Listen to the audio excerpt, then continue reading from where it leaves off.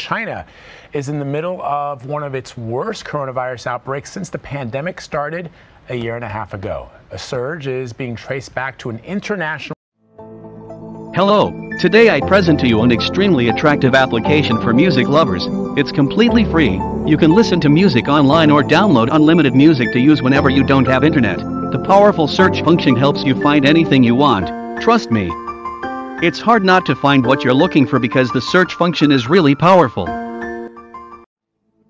Application download link is attached in the description of the video. I'm pretty sure you'll like it.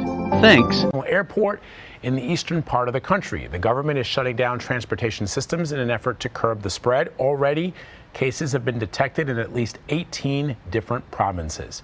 Ramy Inocencio reports.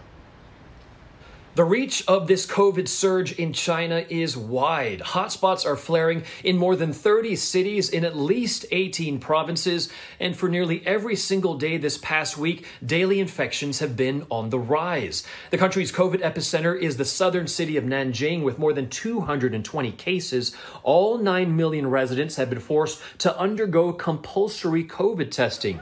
Medium and high risk neighborhoods are now under lockdown, and the airport is shut, and cross cross contamination at the city's airport is to blame. About a month ago, an Air China flight from Moscow landed in Nanjing. Investigators say cleaning staff contracted the virus while disinfecting the plane and then spread it to domestic flights. Meanwhile, a second COVID super spreader event has been linked to a theater performance in the tourist city of Zhangjiajie in Hunan province. Now, that's where attendees sat shoulder to shoulder, not socially distanced. Thousands of people were in the audience, and now the city's one and a half million residents are under a total lockdown. And then there is Wuhan, where the world's first COVID cases were, of course, found. Three locally transmitted cases were found on Monday. That's the first in more than a year. All 11 million residents of Hubei's provincial capital are now enduring another round of mandatory testing, and we know they are no stranger to COVID hardships.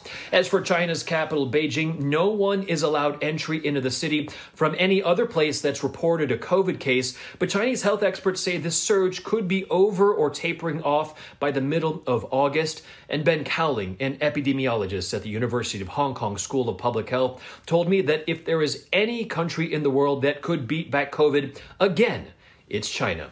Vlad, Henry. All right, some troubling developments, Ramy. Thank you.